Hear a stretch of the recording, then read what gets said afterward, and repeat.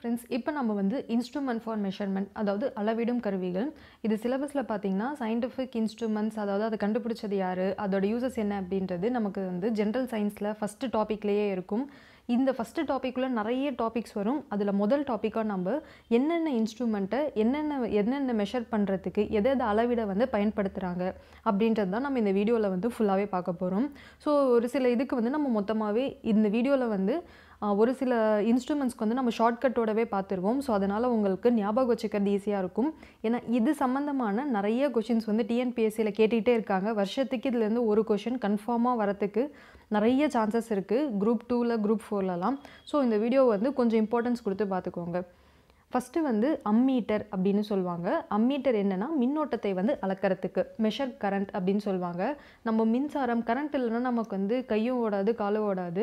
ஆமாம் எப்போ எப்போ எப்போ கரண்ட் வரும் அப்படின்னு சொல்லி கேட்டுகிட்டே இருப்போம். ஸோ நமக்கு எல்லா வேலையும் நடக்கணும். ஆமாம் நம்மளோட எல்லா வேலையும் நடக்கணும் அப்படின்னா நமக்கு வந்து கரண்ட் இருக்கணும். ஸோ அம்மீட்டர் அப்படின்றத கரண்ட்டை ஞாபகம் வச்சுக்கோங்க. அதோட இன்னொரு வெர்ஷன் தான் வந்து கேல்வனோமீட்டர் கேல்வனோமீட்டரில் வந்து என்ன அப்படின்னா இது வந்து திசையையும் சேர்த்து மெஷர் பண்ணும். கரண்ட்டோட அளவை மட்டும் மெஷர் பண்ணுறது அம்மீட்டர் அதோட திசை அப்படின்னு சொல்லக்கூடிய டேரக்ஷனையும் சேர்த்து மெ மெஷர் பண்ணுறது கேல்வனோமீட்டர் ஸோ இந்த ரெண்டுத்தையும் நீங்கள் ஒன்றா ஞாபகம் வச்சுக்கிட்டிங்கன்னா பொதுவாகவே இந்த ரெண்டுத்தையும் சேர்த்து தான் எக்ஸாமில் கேட்பாங்க. ஒரு ஆப்ஷனில் பார்த்தீங்கன்னா மேட்ச் தி ஃபாலோயிங் பொருத்துகமாக இருக்கும். அம்மீட்டரும் கொடுத்துருப்பாங்க கேல்வனோமீட்டரும் கொடுத்துருப்பாங்க. ஒரு சைடில் பார்த்தீங்கன்னா மெஷர் கரண்ட்டுன்னு இருக்கும். இன்னொரு side measure current magnitude and direction இருக்கும். ஸோ இந்த மாதிரி வந்து ஒன்றா சேர்ந்து வரதெல்லாம் வந்து நல்லா பக்கத்தில் பக்கத்தில் வச்சு நல்லா ஞாபகம் வச்சுக்கோங்க. ஸோ எக்ஸாமில் கன்ஃபியூஸ் பண்ணுற மாதிரி இந்த மாதிரி கேட்பாங்க. அப்புறம் அடுத்தது பார்த்தோம் அப்படின்னா அனிமோமீட்டர் அப்படின்னு சொல்லுவாங்க. அனிம் அப்படின்னாலே அது வந்து காற்று விண்ட் அப்படின்னு தான். அனிமோ அப்படின்னு சொல்லுவாங்க. அதாவது அது அனிமோ அதாவது அனிமல்ஸ் வந்து காற்றுனால வந்து பாலினேஷனில் வந்து அனிமோ பாலினேஷன் அப்படின்றது நம்ம சயின்ஸில் இருக்கும். ஸோ அனிமோன்ற வார்த்தைனாலே காற்று விண்ட் அப்படின்னு ஞாபகம் வச்சுக்கோங்க. பாரோமீட்டர் அப்படின்னா ஏர் ப்ரெஷர் அப்படின்ட்டு. பாரோ அப்படின்றது நம்மளால் காற்றை வந்து பார்க்க முடியாது. ஸோ அதனால் பேரோமீட்டர்னால் ஏர் ப்ரெஷர்னும் ஃபேத்தோமீட்டர் அப்படின்னு சொல்லுவாங்க. இது வந்து நீரின் ஆழத்தை அளக்க உதவும். நீர் ஆழமாக இருந்துச்சு நம்ம என்ன சொல்லுவோம்? பார்த்து போ அப்படின்னு சொல்லுவோம். அது மாதிரி ஃபேத்தோமீட்டர் அப்படின்ட்டு. ஹைட்ரோமீட்டர் அப்படின்னா லிக்விட்ஸ் எல்லாத்தையும் மெஷர் பண்ணும். திரவங்களின் ஒப்படர்த்தி. ஹைட்ரோ அப்படின்னாலே நம்ம என்ன சொல்லுவோம்? ஹைட்ரோனாலே தண்ணியை தான் குறிக்கும். இது வந்து வெறும் தண்ணியை மட்டும் கிடையாது. எல்லா திரவங்களையும் சேர்த்து குறிக்கிறது வந்து மெஷர் பண்ணுறது தான் இந்த ஹைட்ரோமீட்டர். லாக்டோமீட்டர் அப்படின்றது வந்து பாலின் தூய்மை லாக்டோ நம்ம விளம்பரத்தில் பார்ப்போம் இந்த லாக்டோஜன் இந்த மாதிரி லாக்டோஸ் அப்படின்னாலே லாக்டோபேசிலஸ் பாக்டீரியா வந்து பாலை தயிராக மாற்றக்கூடியது ஸோ பால் சம்மந்தப்பட்ட விஷயம்னாலே லாக்டோ அப்படின்றது தான். ஓடோமீட்டர் அப்படின்னா வாகனங்களின் தூரத்தை அறிய. ஸோ நம்ம வந்து எவ்வளோ தூரம் ஓடி இருக்குது அப்படின்றத வச்சு ஓ- எவ்வளோ தூரம் ஓடி இருக்குன்றதை நம்ம ஓடோமீட்டர் வச்சு தான் வந்து அளக்க முடியும். அப்புறம் சீஸ்மோமீட்டர் அதை வந்து பூகம்பம் இல்லைன்னா நிலநடுக்கத்தை வந்து அளவிட வந்து பயன்படுது. ஸோ சீஸ்மோ அப்படின்றது வந்து ஸ்னீசிங் அப்படின்னா என்னது? தும்புறது. தும்பும் தும்பும் போது நமக்கு வந்து நம்ம உடம்பே நடுங்கிற மாதிரி இருக்கும். அந்த மாதிரி பூமியவே நடுங்கிறது அப்படின்னு பார்த்தோன்னா தான் சீஸ்மோமீட்டர் அப்படின்ட்டு குரோனோமீட்டர் அப்படி அப்படின்னா கடல் பயணத்தில் நேரத்தை துல்லியமாக அள அளப்பதற்கு. டைம் ஆஃப் அன்னோன் ஏன்னா நம்ம கடலில் ட்ராவல் பண்ணும்போது நமக்கு சிக்னல்லாம் கிடைக்காது. ஸோ நம்ம வந்து ஒரு ஒரு கண்ட்ரிக்கு போகும்போது ஒரு ஒரு கண்ட்ரிலையும் டைமிங் வந்து மாறுபட்டு இருக்கும் அதனால் வந்து சி ட்ராவலர்ஸ்க்கு வந்து கரெக்டாக வந்து தன் கடல் பயணத்தின் நேரத்தை வந்து துல்லியமாக அளக்கிறதுக்கு வந்து குரோனோமீட்டர் அப்படின்ற ஒரு கருவியை தான் வந்து யூஸ் பண்ணுறாங்க ஸோ இதுக்கு வந்து ஷார்ட்கட் எதுவும் சொல்ல முடியல. ஸோ குரோனோமீட்டர் அப்படின்னாலே டைம் ஃபார் அ டைம் கடல் பயணத்தின் நேரத்தை துல்லியமாக அளக்க மற்றும் time of unknown fixed location in a sea இதுதான் வந்து குரோனோமீட்டர் ஸோ இப்போ வந்து ஃபஸ்ட்டு பத்து மீட்டர்ஸ் நீங்கள் பார்த்துருக்கீங்க. இது வந்து உங்களுக்கு தெளிவாக இருக்கா அப்படின்னு பார்த்துக்கோங்க. புரியலன்னா இன்னொரு தடவை வீடியோவையும் இந்த ஷார்ட்கட்டையும் ஒரு தடவை நீங்கள் ரிப்பீட் பண்ணி பார்த்துட்டிங்கன்னா உங்களுக்கு இந்த அளவிடுதல் கருவியை நீங்கள் திருப்பி இன்னொரு தடவை எக்ஸாமுக்கு படிக்கிற மாதிரி இருக்காது. ஸோ அதனால் வந்து நல்லா வந்து வீடியோஸ் வந்து பொறுமையாக நிறுத்தியோ இல்லை திருப்பி திருப்பி ரிப்பீட்டடாகவோ பார்த்தீங்கன்னா உங்களுக்கு வீடியோலையே மனப்பாடம் ஆகிடும் தனியாக நீங்கள் வந்து எஃபர்ட் எடுத்து படிக்க வேண்டாம். அப்புறமா இப்போது பத்து கருவி நம்ம முடிச்சிட்டோம் ஷார்ட்கட்டில் இப்போ அடுத்த கருவிகள் என்ன அப்படின்னு சொல்லி பார்த்தோம் அப்படின்னா மேக்னட்டோமீட்டர் அப்படின்னு சொல்லுவாங்க. இதை வந்து காந்த புவியியல் அதாவது புலங்களை அறிவது. ஸோ மேக்னெட் அப்படின்னாலே என்னென்னா காந்தம் தான். அது இங்கிலீஷில் இருக்குது ஸோ மேக்னட்டோமீட்டர் வந்து காந்த புலன்களை அறிய.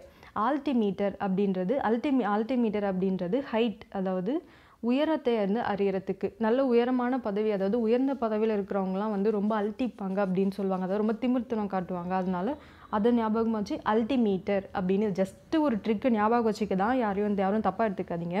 ஸோ அல்டிமீட்டர் அப்படின்றது கடல் மட்டத்திலிருந்து உயரத்தை காண்றதுக்கு. அப்புறமா பைரோமீட்டர் அப்படின்னு சொல்லுவாங்க. பேரோமீட்டர் அப்படின்றது காத்தோட அழுத்தத்தை பேரோ அப்படின்னா பார்க்க முடியாதுன்னு சொன்னேன். ஸோ காற்றுன்னு சொன்னேன். இது வந்து பைரோமீட்டர். இது பயர் அப்படின்னா ஃபயர் அப்படின்னு. எஃப்ஐஆர்இ அந்த மாதிரி இது ரைமிங்காக இருக்கும். பைரோமீட்டர். இது வந்து டெம்ப்ரேச்சர் அதாவது வெப்பநிலையை வந்து அளக்கிறதுக்கு யூஸ் ஆகுது. ஹீமோசைட்டோமீட்டர் அப்படின்னு சொல்லுவாங்க. ஹீமோ அப்படின்னா ஹீமோகுளோபின் இல்லை அப்படின்னா உங்களுக்கு வந்து ரத்தம் கம்மியாக இருக்குன்னு சொல்லுவாங்க. ஸோ அதே வார்த்தை தான் ஹீமோசைட்டோமீட்டர்னால் count of a blood cell அப்புறமா ஃபோட்டோமீட்டர் அப்படின்னு சொல்லி பார்த்தோன்னா ஃபோட்டோ மீட்டர் அப்படின்னாலே என்ன? ஃபோட்டோ அப்படின்னா நம்ம வந்து ஒரு ஒரு மின் காந்தம் வந்து நம்மளோட கேமராவில் வந்து கேப்சர் பண்ணுவாங்க. அதே மாதிரி தான் ஃபோட்டோ மீட்டர் வந்து மின் காந்த அலையை வந்து அளவிடும். இதுதான் ஃபோட்டோ மீட்டர் தெர்மோ தெர்மோமீட்டர் எல்லாருக்கும் தெரிஞ்சது தான் நம்மளோட பாடி டெம்பரேச்சர் ஸோ தெர்மோ பாடியோட டெம்பரேச்சர் உடலின் வெப்பநிலையை வந்து அளக்கிறதுக்கு வந்து தெர்மோமீட்டர் யூஸ் பண்ணுறாங்க கோனியோமீட்டர் அப்படின்னாலே கோனியோமீட்டர்னாலே கோணங்களோட கோணங்களை அளக்கிறதுக்கு. இங்கிலீஷில் பார்த்தோன்னா ஆங்கிள்ஸ் அப்படின்னு சொல்லுவாங்க. ஸோ கோனியோ அப்படின்னா கோணம் கோணங்கள் அப்படின்னா இங்கிலீஷில் ஆங்கிள்ஸை ஞாபகம் வச்சுக்கோங்க. மானோமீட்டர் அப்படின்னா நீராவி அழுத்தத்தை அளக்கிறதுக்கு.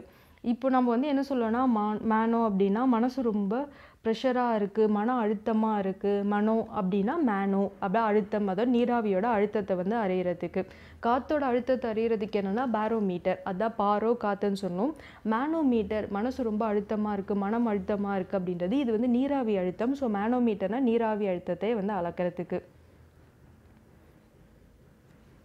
அப்புறமா ஓல்ட் மீட்டர் ஓல்ட் மீட்டர் அப்படின்னா இங்கிலீஷில் பார்த்தோன்னா ஈஸியாக புரிஞ்சிடும் ஓல்டேஜ் வந்து மெஷர் பண்ணுறது ஓல்ட் மீட்டர் இல்லை பொட்டன்ஷியல் டிஃப்ரென்ஸ்னு சொல்லுவாங்க. மின் அழுத்த வேறுபாடு. ஸோ ஓல்ட் அப்படின்னா வேறுபாடு அப்படின்றத மட்டும் ஞாபகம் வச்சுக்கோங்க. டாக்கோ மீட்டர் அப்படின்னா விமானங்களின் வேகத்தை அறிய.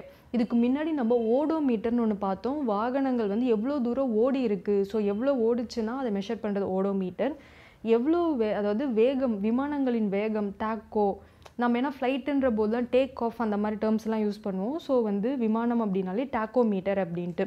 சோனோமீட்டர் அப்படின்னா டெப்த் ஆஃப் தி சி அதாவது கடலின் ஆழத்தை அறியறதுக்கு. அதை வந்து சோனோமீட்டர் அப்படின்னு சொல்லி சொல்லுவோம். இதுக்கு வந்து சின்ன ஷார்ட்கட் என்னென்னா சோனோ எஸ்ல ஆரம்பிக்கும் சியு இந்த மாதிரி டெப்த் ஆஃப் தி சி ஏன்னா ஃபேத்தோமீட்டர்னு ஒன்று பார்த்துருப்போம். அது வந்து டெப்த் ஆஃப் வாட்டர் தண்ணியோட ஆழத்தை அறியறது.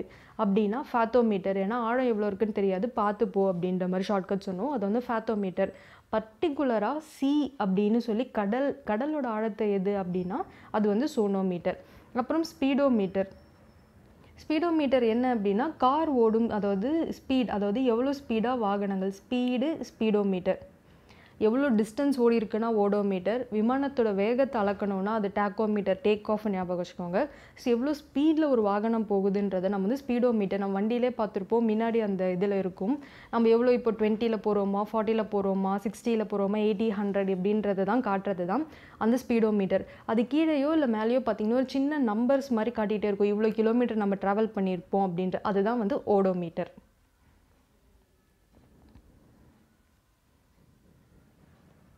இதுக்கப்புறம் வந்து ஸ்பிக்மோ மேனோமீட்டர் அப்படின்னு ஒன்று பார்ப்போம். இது என்னென்னா பிளட் ப்ரெஷரை மெஷர் பண்ணுறதுக்காக ஸ்பிக்மோ மேனோமீட்டர்னு ஒன்றும் கிடையாது. நம்ம அந்த பிபி மிஷின் ஒரு கையில் கட்டிட்டு அந்த சின்ன பால் மாதிரி ஒன்று இருக்கும் அதை ப்ரெஸ் பண்ணிக்கிட்டே வருவாங்களே அதுதான் வந்து ஸ்பிக்மோ மேனோமீட்டர் அது எதுக்கு நமக்கு இது பண்ணுவாங்கன்னா ஸ்பிக்மோ மேனோமீட்டர்னாலே பிபி பிளட் ப்ரெஷர் செக் பண்ண தான் ஸ்பிக்மோ மேனோமீட்டர் யூஸ் பண்ணுறாங்க ஸ்பியரோ மீட்டர் அப்படின்னு ஒரு மீட்டர் இருக்குது ஸ்பியர் அப்படின்னாலே என்ன அப்படின்னா கோலம் தான் தமிழில். அந்த கோலத்தோட வளைவு கர்வேச்சரை வந்து செக் பண்ணுறது தான் வந்து ஸ்பியரோ மீட்டர் நான் முன்னாடி வந்து கோனியோ மீட்டர்னு ஒன்று பார்த்தோம். அதாவது என்னென்னா கோணங்கள் ஆங்கிள்ஸை மெஷர் பண்ணுறது கோனியோமீட்டர். கோலங்களோட வளைவை மெஷர் பண்ணுறது ஸ்பியரோமீட்டர். இங்கிலீஷில் ஸ்பியர் கர்வேச்சர் ஆஃப் ஸ்பியர் நமக்கு கொஞ்சம் ஈஸியாக புரியும். ஓம் மீட்டர் அப்படின்னு இருக்கும். ஓம் மீட்டர் அப்படின்னா என்ன அப்படின்னா ஒரு சர்க்கியூட்டில் வந்து எவ்வளவு கரண்ட் வந்து பாஸ் ஆகிறதுக்கு எவ்வளவு ரெசிஸ்டர் அதாவது ரெசிஸ்டர்னால் தடுப்பான் எவ்வளோ தடுப்பு போடணும் தடுப்பான் போடணும் அப்படின்றத மெஷர் பண்ணுறது தான் இந்த ஓம் மீட்டர் அப்புறமா கிராவி மீட்டர் அப்படின்வாங்க கிராவிட்டினால என்ன? புவி ஈர்ப்பு சக்தி. ஸோ கிராவி அப்படின்றதே என்னென்னா புவியோட ஈர்ப்பு சக்தியை வந்து அளக்கிறதுக்கு. கைரோஸ்கோப் அப்படின்னு சொல்லுவோம் கைரோஸ்கோப் அப்படின்னால என்னென்னா நோக்குநிலை மற்றும் கோணத்தின் வேகம் அதாவது வெலாசிட்டி அதாவது கைரோமீட்டர் அப்படின்னாலே வெலாசிட்டி தான். நம்ம நேர்கோட்டில் போனோம் போனால் அது ஸ்பீட் வெலாசிட்டி இதுவே வந்து ரவுண்டாக சுற்றி சுற்றி இப்போ வந்து ஃபேனோ இல்லை ஒரு மிக்சியோ இல்லை வந்து ஒரு கிரைண்டோ சுற்றி சுற்றி போகும்போது இல்லை சேட்டலைட் வந்து நம்ம எர்த்தை சுற்றும் போதெல்லாமா அதோட ஸ்பீட்லாம் நமக்கு தெரியணும். அதை வந்து கைரோஸ்கோப்பில் தான் மெஷர் பண்ணுவாங்க. டைலக்டோமீட்டர் அப்படின்னு ஒன்று இருக்குது இது எதுக்கு அப்படின்னா டைமென்ஷனல் சேஞ்ச் டைலக்டோ டைலக்டோமீட்டர் அப்படின்னா என்னென்னா ஒரு பொருளை வந்து சூடுபடுத்துறதுனால அதோட பொருளின் வடிவம் மாறும். இப்போ ஐஸை நம்ம எடுத்து வெளியே வச்சோம் அப்படின்னா அது தண்ணியாக உருகிய தன் ஷேப் மாறிடும். எவ்வளோ மாறி இருக்குது அப்படின்றத கண்டுபிடிக்கிறது தான் இந்த டைலக்டோமீட்டர். அப்புறம் ஹைட்ரோஃபோனுன்னு சொல்லுவாங்க. ஃபோனுனாலே பொதுவாக நமக்கு சவுண்டு கேட்கும் ஹைட்ரோ அப்படின்னா தண்ணி. தண்ணிக்குள்ளே வந்து சவுண்டு வேவ் ட்ராவல் பண்ணணும்னா அதுக்கு யூஸ் பண்ணுற எக்யூப்மெண்ட் என்னென்னா இந்த ஹைட்ரோஃபோன் ஸோ இதுதான் வந்து நம்ம தெரிஞ்சுக்க வேண்டிய முக்கியமான இன்ஸ்ட்ருமெண்ட் இதுலேருந்து கண்டிப்பாக டிஎன்பிஎஸ்சியில் ஒரு கொஷின் வரும்.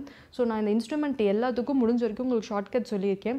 ஒருவேளை உங்களுக்கு வேறு ஏதாவது ஈஸியான ஷார்ட்கட் தெரிஞ்சாலும் நீங்கள் படிச்சுக்கோங்க. ஆனால் இந்த டாப்பிக்கை வந்து கன்ஃபார்மாக நீங்கள் படிச்சுக்கணும். ஏன்னா இதுலேருந்து ஒரு கொஷின் கன்ஃபார்மாக டிஎன்பிஎஸ்சிக்கு வரும். ஸோ வந்து மறக்காமல் இந்த டாப்பிக்கை நல்லா படிங்க. நோட்ஸ் எடுத்தும் படிங்க. ஸோ பாய் ஃப்ரெண்ட்ஸ் மறக்காமல் இந்த சேனலை லைக் பண்ணுங்கள் சப்ஸ்கிரைப் பண்ணுங்கள் படிக்கிற உங்கள் ஃப்ரெண்ட்ஸோட ஷேர் பண்ணுங்கள் தேங்க்ஸ் ஃபார் வாட்சிங்